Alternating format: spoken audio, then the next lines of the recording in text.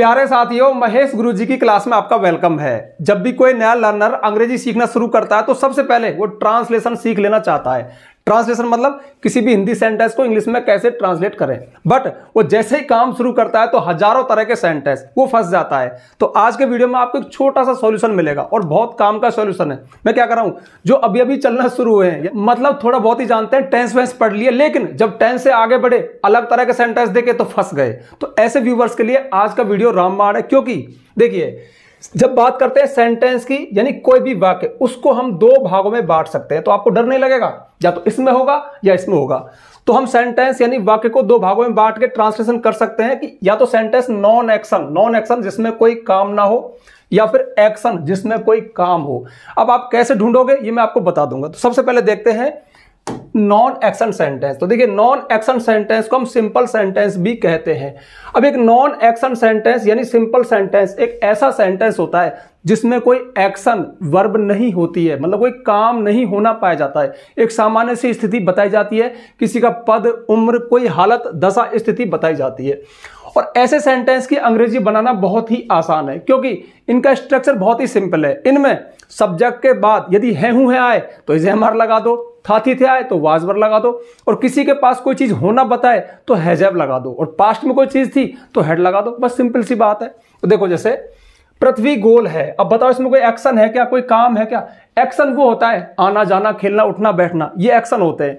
इनमें एक्शन नहीं है, जैसे पृथ्वी गोल है, अमन मेरा बड़ा भाई है, मेरे गाँव में एक तालाब है, किताब सोफे पर है, आज बहुत गर्मी है, एक बार एक राजा था, मेरे पास एक आईफोन है, हमारे पास मुंबई में घर था। तो बताओ, इनमें कुछ काम हो रहा है क्या? कोई आ रहा है, जा रहा है, गा रहा है, हंस रहा है, ऐसा कुछ नहीं हो रहा ना? तो सामान्य सी स्थिति है। तो जब भी आप ऐसा सेंटेंस देगा जिसमें एक्शन ना हो, उनकी अंग्रेज़ी बनाना बहुत ही आसान है। इस वीडियो से आपको थोड़ी हेल्प मिल जाएगी, थोड़ा क्ल्यू मिल जाएगा। और इसके बाद हम देखेंगे एक्शन वाले सेंटेंस जैसे, राहुल बहुत हंसता है, लेकिन राहुल मुझे हंसाता है। अब जब अपने टेंस पढ़े होंगे तो ताहती है मतलब प्रेजेंट इंडिफरेंट टेंस लेकिन राहुल मुझे हंसाता है। वैसे तो उसमें ताय आ रहा है, लेकिन प्रेजेंट इंडिफरेंट नहीं है। जैसे मुझे अब सोना है, अगला है मुझे मुझे सॉरी मुझे दो बार आ गया। ये हटाओ। देखो, मुझे अब सोने दो। एक तो मुझे अब सोना है और मुझे अब सोने दो, बात तो एक ही है, लेकिन स्ट्रक्चर अलग बनेगा। अगला है, उसने खाना खा लिया है। मैं यह ताला खोल सकता हूँ तो मैं झूठ नहीं बोलना चाहिए, भागो यहाँ से। मुझे मुझे सुबह जल्दी जागना पड़ता है, तुम हमेशा खुश रहो। तो इनमें देखो, हंसना, सोना, खाना खोलना, बोलना, भागना, जागना, सभी एक्शन वर्ब है। अब एक्शन वर्ब में देखो सिंपल सी बात है। हम भी कहते हैं, बहुत सारे टीचर कहते हैं, भाई टेंस सीख लो। सीख जाओगे, लेकिन सारे सेंटेंस टेंस से कवर नहीं होते। सेंटेंस बहुत तरह के होते हैं। इस पर मैंने काफ़ी सारे वीडियोस बनाए हैं। लेकिन थोड़ा बहुत यहाँ पे आज कवर करेंगे। तो चलिए शुरू करते हैं। पहले नॉन एक्शन सेंटेंस की ट्रांसलेशन करते हैं। ट्रांसलेशन का एक ही रूल है। आप ज़्यादा से ज़्यादा सेंटेंस की ट्रांसलेशन देख लो, आपको आ जाएगी थोड़ी प्रैक्टिस करना। तो पृथ्वी गोल है तो कौन गोल है पृथ्वी? तो इसकी इंग्लिश बनेगी द अर्थ अब है है के लिए पृथ्वी एक है तो इज़ लगा दो। द अर्थ इज़ राउंड पृथ्वी गोल है। अमन मेरा बड़ा भाई है तो Aman is my elder brother ध्यान रखना, कोई बड़ा है तो एल्डर और छोटा है तो यंगर इस तरह से। मेरे गाँव में एक तालाब है। अब यहाँ पे बताओ, किसकी बात चल रही है? तालाब की। और कहाँ है मेरे गाँव में? तो ऐसा, देखो, ऐसा सेंटेंस जिसमें अपने बताएँगे वहाँ पे कोई चीज़ है या वहाँ पे कोई चीज़ थी। मतलब दूर की बात यहाँ पे करें तो सेंटेंस देयर से शुरू होता है। और ये भी सिंपल सेंटेंस होता है तो देयर हम यहाँ पे चीज़ों को डिस्क्राइब करें यहाँ पे बैठ के। आप यहाँ बैठे हो और दूर की चीज़ बता रहे हो देयर से सेंटेंस शुरू कर दो, बहुत सिंपल है। तो देयर इज़ अ पॉन्ड तालाब होता है पॉन्ड या पुल लिख दो there is a pond in my village. अच्छा ये सभी सेंटेंस पास्ट में भी बन सकते हैं। पृथ्वी गोल थी। हालाँकि ये यूनिवर्सल ट्रुथ है, सार्वभौमिक सत्य हमेशा गोल है, लेकिन गोल थी तो अर्थ वाज राउंड अमन मेरा बड़ा भाई था तो Aman was my elder brother इसी तरह से मेरे गाँव में एक तालाब था तो there was a pond in my village ठीक है? किताब सोफे पर है। अब किसकी बात चल रही है? किताब की। तो the book is on the sofa बस बहुत ही सिंपल है। और ऐसे सेंटेंस रोज़मर्रा रोज़मर्रा में हम बोलते हैं। इनमें इज़ एम आर का यूज़ होता है। प्रेजेंट में है हुआ है तो। एक्शन ना हो, है हुआ है इज़ एम आर अब इज़ एम आर तीनों के लिए लगा रहा? क्योंकि एग्ज़ाम्पल इसी तरह के इनमें एक की बात चल रही है। यहाँ पे देखो, समझ लो, किताबें सोफे पर हैं। चलो उसको चेंज कर दो। किताबें सोफे पर हैं तो द बुक्स ज़्यादा हो गई तो फिर यहाँ पे क्या आएगा? आर बस, ज़्यादा की बात हो तो आर लगाते हैं। और हाँ आई हो तो आई के साथ एम आता ही है। ठीक है? आज बहुत गर्मी है। अगर गर्मी सर्दी ऐसे मौसम की बात बताए तो सेंटेंस को इट से शुरू करते हैं। तो it is very hot today आज बहुत गर्मी है। एक बार एक राजा था तो बहुत सिंपल है। एक बार के लिए क्या आएगा? वंश अब राजा यहाँ पे तो है नहीं। दूर की बात कर रहे हैं तो देयर से सेंटेंस शुरू होगा। लेकिन एक बार की अंग्रेज़ी पहले बना दी तो once there was a king एक बार एक राजा था।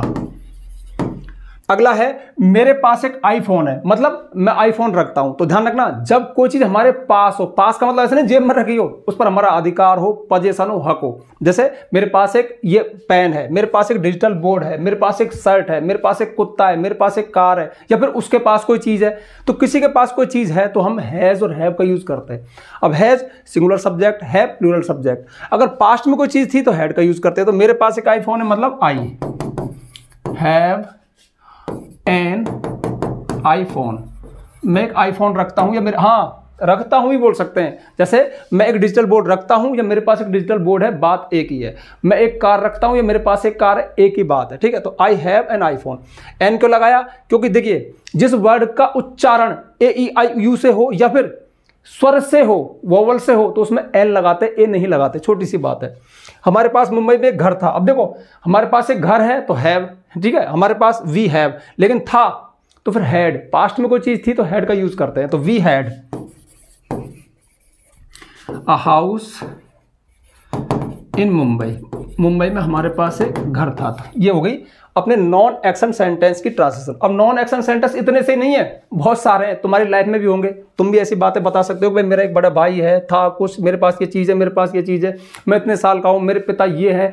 जब सामान्य किसी के बारे में कुछ जानकारी दें तो सिंपल सेंटेंस होता है। इनमें हम सब्जेक्ट के जस्ट बाद इज़ लगाते हैं या फिर पास्ट की बात तो वाजवर लगाते हैं पोजिशन की बात है, रखने का भाव हो तो फिर हैज़ का यूज़ करते हैं। पास्ट में था तो हेड का यूज़ करते हैं। बहुत ही सिंपल है तो आप इन पर थोड़ी प्रैक्टिस करना हो जाएगा। हाँ दूर की कोई चीज़ बता रहे तो देर से सेंटेंस शुरू होता है।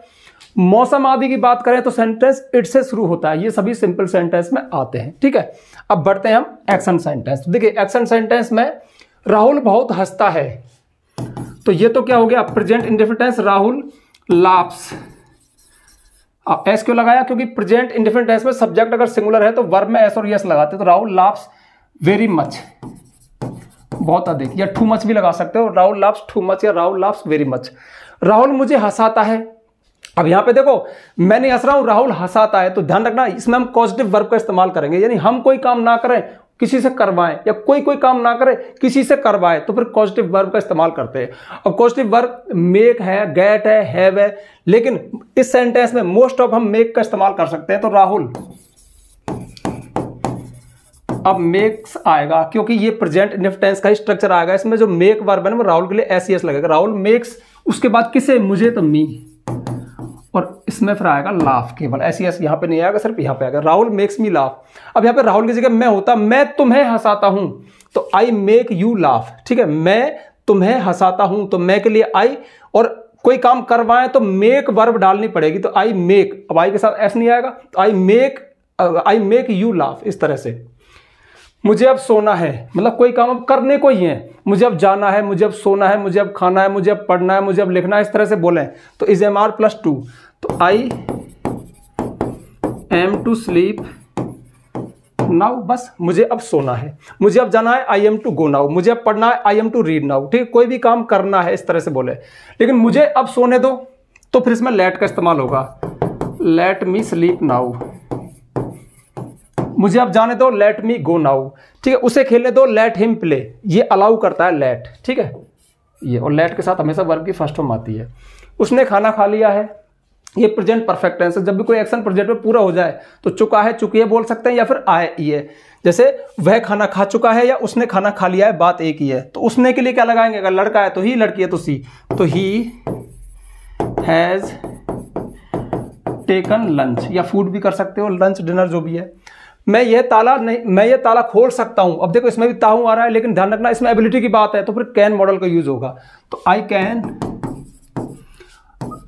अनलॉक ओपन भी कर सकते हो I can unlock this lock मैं इस लॉक को अनलॉक कर सकता हूँ मतलब खोल सकता हूँ। अनलॉक थोड़ा ठीक रहेगा लॉक के संदर्भ में, क्योंकि ताला खोल रहे हैं ना अनलॉक कर रहे हैं उसको तो अनलॉक एक वर्ब भी है। तो मैं झूठ नहीं बोलना चाहिए चाहिए आ गया। तो फिर इसमें सुड मॉडल का यूज़ करेंगे तो you you should not tell a lie तुम्हें झूठ नहीं बोलना चाहिए।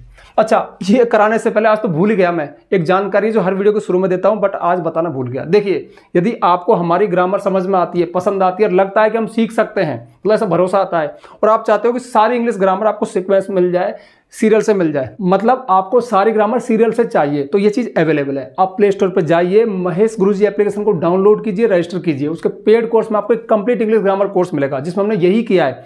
सारी इंग्लिश ग्रामर को सिक्वेंस से सीरियल से कवर किया और हाँ साथ में पीडीएफ नोट्स भी है। आप चाहो तो वीडियोस को देख सकते हो और उसी टॉपिक को पीडीएफ में पढ़ भी सकते हो। क्योंकि एक्स्ट्रा मेहनत लगी है थोड़ी सी फ़ीस है।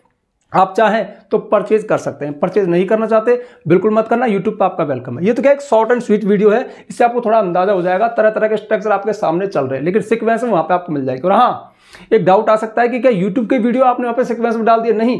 वो सारा कोर्स बेसिक टू एडवांस अलग से तैयार किया है। ठीक है, अब इधर आ जाओ। यार ये सुड की तो मैंने हालत ही खराब कर दी, इसको थोड़ा ठीक कर देता हूँ। सुड ठीक है? तो you should not tell a lie तो मैं लाई होता, झूठ बोलना। भागो यहाँ से। अब देखो, किसी से कुछ काम करना कहें, जाओ यहाँ से, भागो यहाँ से, यहाँ आओ, ये कर दो, वो कर दो। हम किसी को आदेश दें तो इंपेटिव सेंटेंस होता है। इनका स्ट्रक्चर इनमें सब्जेक्ट नहीं आता हेल्पिंग वर्ब नहीं आती, सिर्फ़ वर्ब से शुरू होते हैं तो भागो मतलब रन यहाँ से from here run from here यहाँ से भागो या रन अवे फ्रॉम हेयर भी बोल सकते हैं। जाओ यहाँ से गो अवे फ्रॉम हेयर ठीक है? मुझे सुबह जल्दी जागना पड़ता है, कोई काम करना पड़े, मजबूरी से लगे कि मुझे स्कूल जाना पड़ता है, पढ़ना पड़ता है, जागना पड़ता है, ये करना पड़ता है तो फिर स्ट्रक्चर अलग होता है। तो मुझे मतलब आई आई हैव टू अब देखो, मुझे जागना है तो आई एम टू है ना? I am to get up लेकिन जागना पड़ता तो I have to get up get up होता है जागना। I have to get up early in the morning बस, हो गया। तुम हमेशा खुश रहो। हम ऐसा भी तो कहें, किसी को दुआ दें या फिर बद दुआ दें कि भाई तुम ऐसा रहो, भगवान तुम्हारा भला करे, तुम्हारी लंबी उम्र हो, तुम हमेशा खुश रहो। तो ऐसे सेंटेंस मे से शुरू होते हैं। तो may you be happy always. तुम हमेशा खुश रहो। इनके अंत में एक्सक्लेमेटरी मार्क भी आता है। अब अब आपको लग रहा हो, अब नहीं, आप ये समझ रहे हो क्या यही, इसी में सब कवर हो गया? भाई, कुछ तो टेंस के ले लिए। जैसे ये मॉडल के ले लिए, ये इंपरेटिव सेंटेंस हो गया, ये ऑब्लिगेशन हो गया, ठीक है, ये लेट का यूज़ हो गया। लेकिन अभी भी बहुत सारे रह रहे हैं। लेकिन मैंने क्या कहा? बूंद बूंद से घड़ा बढ़ता है। थिंग्स टेक टाइम सीखने में वक्त लगता है। जब आप चीज़ों के पास बार बार जाओगे तो सीख जाओगे। कहने का मतलब है कि अंग्रेज़ी आप एक दिन में नहीं सीख सकते। टाइम तो लगता ही है। हमने कितने सारे वीडियो बना रखे हैं, और लोगों ने बना रखे हैं। कितना आप स्कूल में पढ़े होगे, लेकिन अभी भी सीखना है। तो एक बार सीख लो यार, फिर सीख ही जाओगे ना। बस हिम्मत मत रहा तो ठीक है, जल्दी से वीडियो को लाइक कर दो, ज़्यादा ज़्यादा शेयर करना। चैनल पर नया है चैनल को सब्सक्राइब करना बेलाइकन प्रेस करना, ताकि आपको आने वाले वीडियो की नोटिफिकेशन मिल जाए। आज के लिए बस इतना ही। मिलते हैं नेक्स्ट वीडियो नेक्स्ट टॉपिक के साथ। तब तक के लिए बाय